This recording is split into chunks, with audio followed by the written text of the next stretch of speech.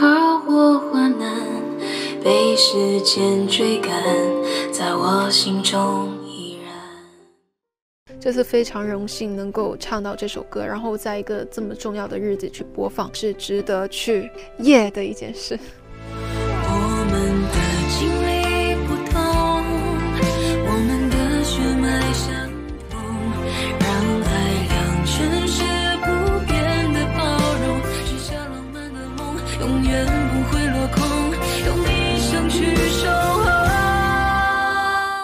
生生不息港乐季将迎来整季节目的最盛大的时刻，与我共此时的下半场，为香港回归二十五周年奉献盛大的庆典，用歌声做请柬，以时光为邮戳，劲歌金曲冲刺夜即将开启。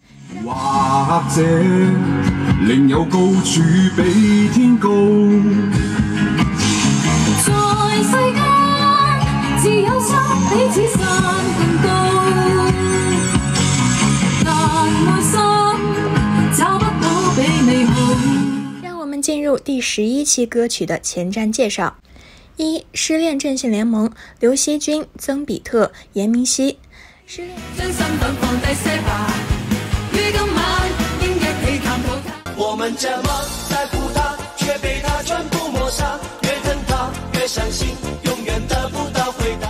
失恋阵线联盟是草蜢组合演唱的一首歌曲，该歌曲是电视剧《家有仙妻》的主题曲。二零一五年被电影《我的少女时代》作为片尾曲。我想节目组选这首歌的意思是想表达当代香港年轻人的活泼开朗的一面吧。还有，我觉得《失恋战线联盟》的泰文原版既好玩又搞笑。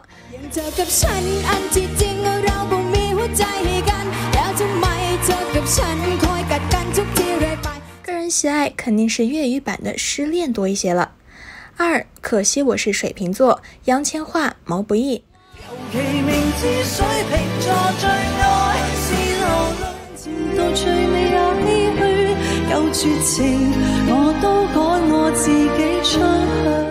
可惜我是水瓶座，是由杨千嬅演唱的一首粤语歌曲。该歌曲获得第二十六届香港十大中文金曲奖及二零零三年度十大劲歌金曲奖。香港音乐人黄伟文与杨千嬅交情深厚，可惜我是水瓶座，是他为杨千嬅量身打造的情歌。杨千嬅与郑中基分手之后，他坦言很不开心，总是约朋友喝酒。黄伟文表示，当时杨千嬅收工之后走进黄伟文喝酒的夜店，连续点了八杯长岛冰茶，而黄伟文也没问那个令他落泪的人是谁，就静静的陪杨千嬅喝。该去当中的一句：“要是回去没有止痛药水，该拿长岛冰茶换我半晚安睡”，就是杨千嬅的亲身经历。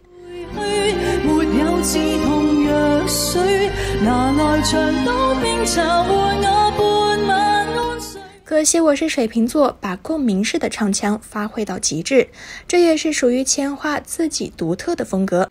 该曲是属于略带忧伤情调的柔美歌曲，虽然不需要太高的技巧，却需要杨千嬅那种不是特别靓丽和清澈，却听起来觉得心灵很贴近的邻家女孩声线来演绎，让人很快的沉浸到歌曲的氛围中。三千一个夜晚，林子祥、单依纯。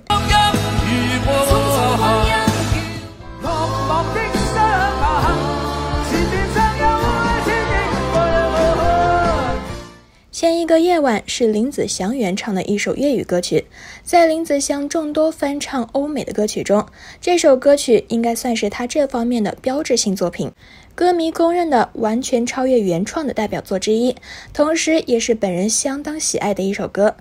林子祥的音域非常的宽，是很少见的中低高音都擅长的歌手，在技巧和风格上，不管是深情柔美还是豪迈激昂的歌曲，都可以完美演绎。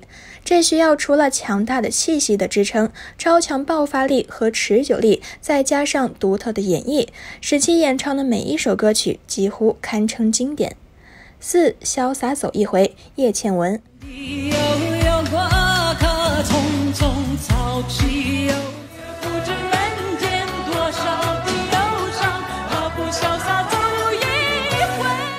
潇洒走一回是一首节奏偏快的作品，但在现代化的韵律中又融入了一些中国传统古典音乐元素，从而有了一种极其古装剧的效果。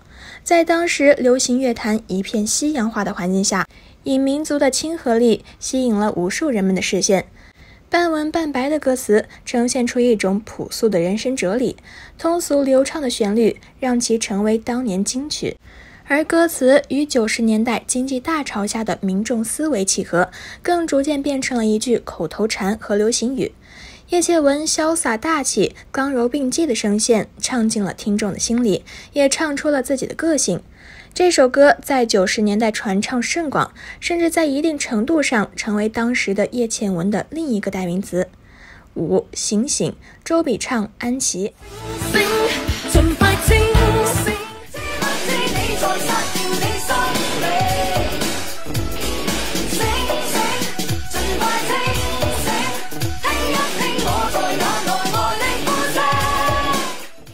《曲醒醒》由林忆莲演唱，是一首激情励志、扣人心弦的国语劲歌。一九九二年入选香港电台中国歌曲龙虎榜第一位。一九九二年获得劲歌台劲爆榜第一位。唱片中，林忆莲以一身黑色素装，劲爆的舞姿、迷人的眼神、绚丽的舞台、闪电般的舞速、动作刚柔兼济、表情一一到位，令人叹为观止。六雨夜的浪漫加护花使者李健李克勤魔动闪霸。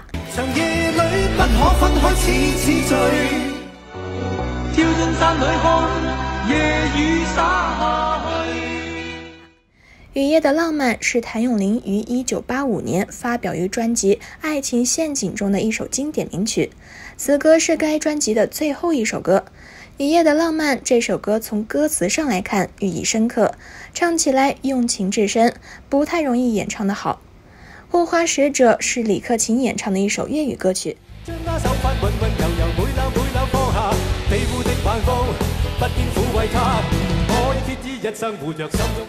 由长谷川吉平作曲，潘伟元填词，苏德华编曲，收录于李克勤1991年6月9号由环球唱片发行的粤语专辑《雨中街头剧》中。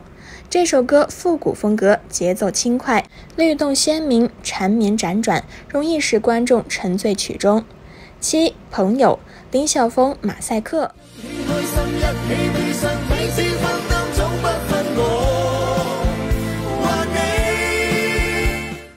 《朋友》是谭咏麟演唱的一首粤语歌曲，该曲是电影《龙兄虎弟》的插曲。这首歌是日本作曲家秦泽广明专门为谭咏麟创作的一首歌。《朋友》这首歌寄托着谭咏麟对温拿五虎以及圈内外好友的那种共患难、不离不弃、携手共进的感恩之情，也是非常切合这次节目凭歌借意表达香港精神的主题。八、爱的根源，李玟。《爱的根源》可以说是香港乐坛最经典的一张专辑，这是一张具有划时代意义的专辑。以它为标志，香港乐坛进入了以谭张梅为代表的黄金时代。最后，和大家一起坐等七月三号《生生不息》第十一期的播出，预祝大家观演愉快！